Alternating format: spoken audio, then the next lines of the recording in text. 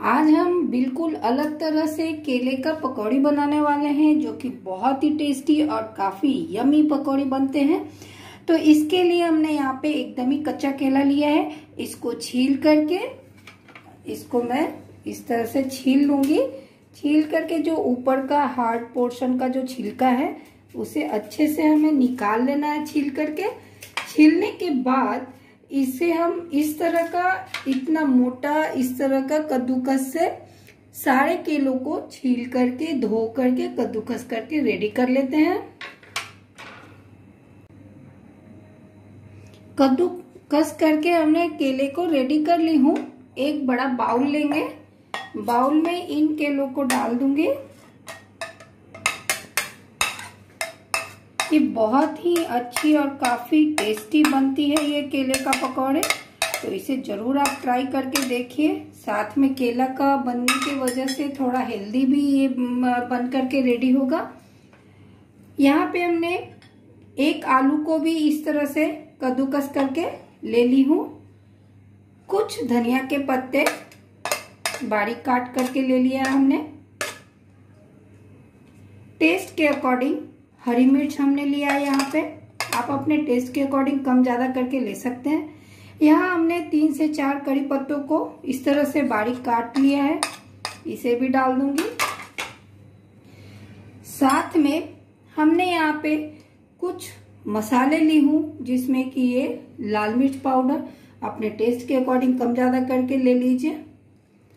साथ में थोड़ी सी गरम मसाला हमने ली है। ये धनिया और जीरा का पाउडर है।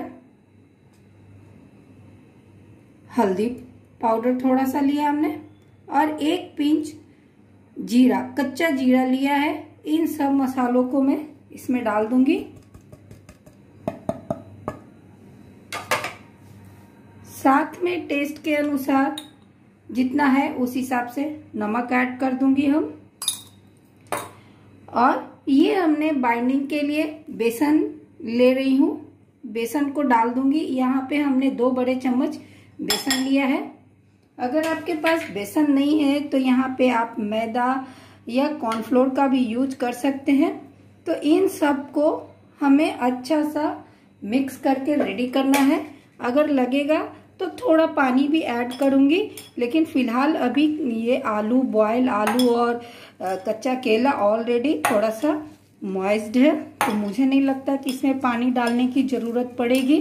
देखिए ऑलरेडी ये बाइंड हो रहा है तो इसे हम अच्छे से मिक्स करके रेडी कर लेते हैं। ये इस तरह से हमने घोल करके रेडी कर ली हूँ। अब इधर कुकिंग ऑयल भी गर्म होने रख दिया है अच्छा सा गर्म हो गया है ऑयल तो इसमें जितने बड़े आपको पकौड़े चाहिए, उस हिसाब से आप इसमें डाल दीजिए। और इसे हम हाई फ्लेम में नहीं करेंगे लो टू मीडियम फ्लेम पे करेंगे, ताकि अच्छे से अंदर तक ये पकौड़े अच्छे से सिक जाए। और इसे एक बार में जितनी आपकी कढ़ाई में आती है, उस हिसाब से आप सारे पकौड़ों को डाल लीजिए। ये बहुत ही टेस्टी लगता है फ्रेंड और साथ में हेल्दी तो है ही केले के बनने की वजह से, केला का पकौड़ा है तो हेल्दी तो होगा ही।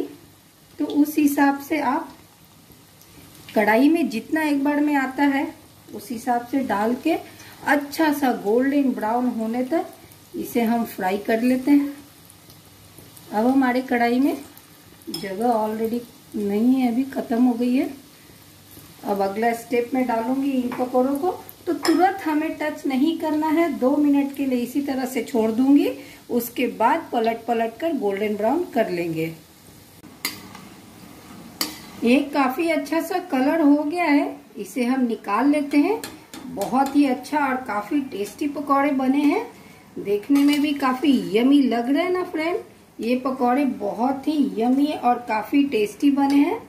तो इसे एक्स्ट्रा ऑयल रोकते हुए सारे पकौड़ों को हम निकाल लेंगे।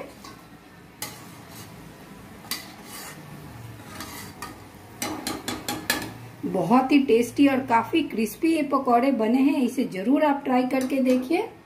तो पकौड़े निकालने के बाद गैस को हमने कर दिया है बंद, और यहाँ पे हमने यहाँ पे कुछ हरी मिर्चें ली हूँ, इसको बीच से हमने हल्का सा कट लगा दिया है।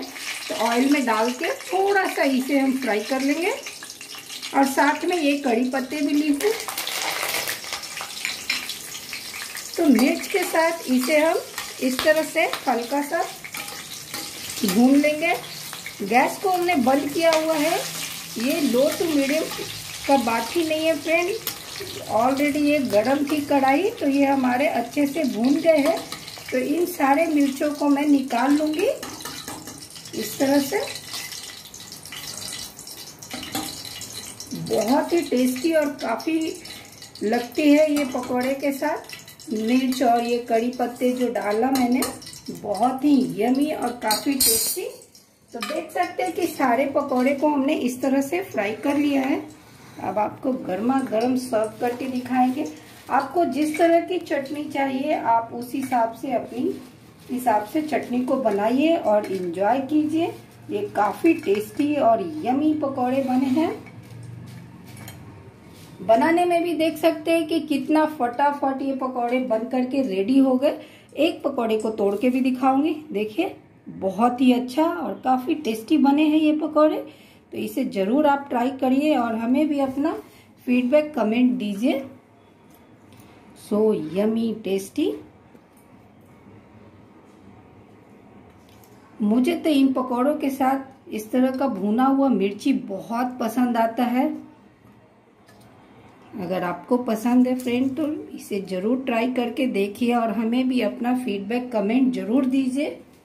देख सकते हैं कितना अच्छा सा यमी सा ये पकौड़े बन करके रेडी हो गए ना, काफ़ी देखने में टेस्टी और यमी तो मिलते हैं फ्रेंड्स नेक्स्ट वीडियो के साथ। Thank you